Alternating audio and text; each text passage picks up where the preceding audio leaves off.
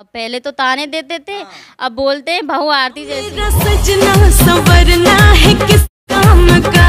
माला जपते वीडियो डाली और रातों रात 20 मिलियन व्यू आई हाँ बिल्कुल सही। काफ़ी से आप वायरल हो समाज के लोग तो यही बोलते थे वहाँ से बग के आ गई अब यहाँ से भी जाएगी। हाँ। या दूसरी शादी हुए चार साल हो गया और मालूम भी नहीं चला कि चार साल कहाँ हो गया और सब कुछ अच्छा चल रहा है। हाँ। बिल्कुल सही। उससे कितना दिन पहले शादी हुई? वहाँ पे बस डेढ़ साल रहे हम। वो लड़का क्या करता था? कुछ भी नहीं दारू पी के डोलता था। बस। जी।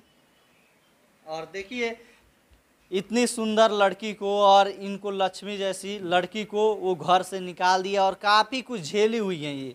इनके ज़िंदगी में काफ़ी उतार चढ़ाव आई हुई है और ये इतना कुछ झेलने के बाद आज सोशल मीडिया पे वीडियो बनाती है डांस भी करती हैं गाना पे लिपसिंग भी करती हैं और लाखों रुपए कमाती हैं आज।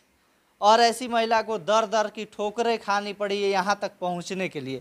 चाहे जब वीडियो बनाती होंगी गाँव के समाज के लोग भी काफ़ी कुछ कमेंट करते होंगे। समाज के लोग तो यही बोलते थे वहाँ से बग के आ गई अब यहाँ से भी जाएगी। हाँ मतलब उल्टा सीधा ऐसे बोलते रहे होंगे। उनका काम है उल्टा बोलने का उनको ऐसा लगा था कि वहाँ से आ गई है तो यहाँ से भी चली हाँ। जाएगी बस। ये नहीं सोचे कि क्या मजबूरी थी उसकी आपके बारे में कुछ नहीं सोचे। नहीं सोचता कोई किसी के बारे में नहीं है। जो बोलना बोलते हैं वो बोलते ही हैं। उनका वो सोचते हैं कि हमारे बोलने से इनको थोड़ा दुख पहुं- पहुंचेगा तो उनको खुशी मिलेगी। अच्छा। अच्छा सोशल मीडिया पे कैसे कदम रखी आप?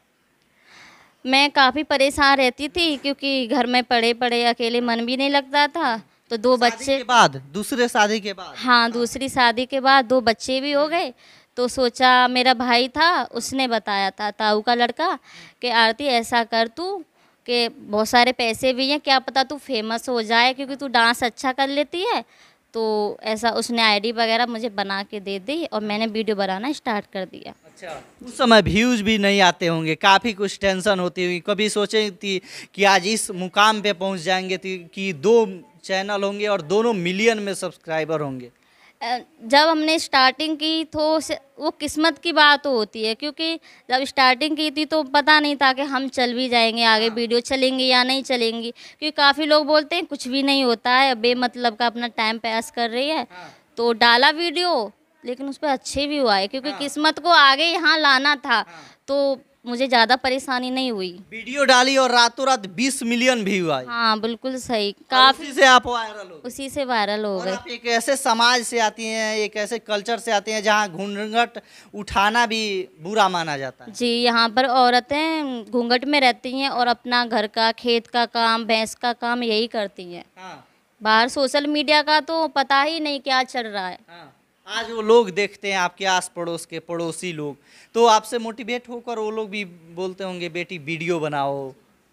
पहले स्टार्टिंग में तो सभी लोगों ने काफ़ी सवाल उठाए लेकिन जब से पैसा आने लगा और हम भी फ़ेमस हो गए तो अब सबने स्टार्ट कर दिया। बोलते हैं बहू हो। आरती जैसी हो। हाँ जी। वो तो आरती जैसी हाँ। अब पहले तो ताने देते थे हाँ, अब बोलते हैं बहू आरती जैसी हो सभी। बेटी और बेटी मम्मी पापा तो काफ़ी खुश हैं उनकी तो खुशी का कोई जवाब नहीं। आज मम्मी पापा क्या बोलते हैं जब जाती हैं तो?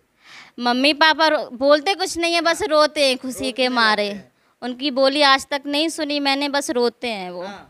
खुशी से रोते हैं क्योंकि इतना कुछ झेला आज यहाँ मुकाम पर आ गए बोलते हैं हमारी बेटी का ज़िंदगी बर्बाद तो हुआ लेकिन अब संभल गया। इस सफ़र में मामा का भी काफ़ी हाथ रहा आपको आगे बढ़ाने। मामा का हाथ रहा क्योंकि हम गुजरात गए थे। हाँ। अ, जो मामा गुजरात रहते हैं हमारे तो तलाक होने के बाद गए थे। हाँ। तो मामा ने बताया था ज़िंदगी जीने का तरीका कि ज़िंदगी ऐसे नहीं जी जाती है। उन्होंने इतना समझाया हम छः सात महीने रहे थे वहाँ इतना समझाया कि हम वहाँ से बदल के आ गए। हाँ वहाँ से बदल गए पूरे बदल गए यहाँ से जो गए थे वो हाँ। नहीं रहे। बस यही सीखे अपना ही मतलब रखो किसी के बारे में कुछ मत सोचो हाँ। जो करना है अपना करो।